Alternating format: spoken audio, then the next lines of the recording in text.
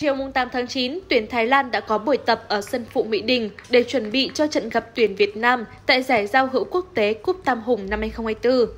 Trước đó, đội bóng xứ Chùa Vàng bày tỏ sự tiếc nuối khi trận giao hữu với tuyển Nga vào hôm 7 tháng 9 bị hủy do ảnh hưởng của cơn bão số 3 siêu bão Yagi. Tuy nhiên, thầy trò huấn luyện viên Masataja Ishii vẫn chuẩn bị kỹ lưỡng cho trận gặp Việt Nam.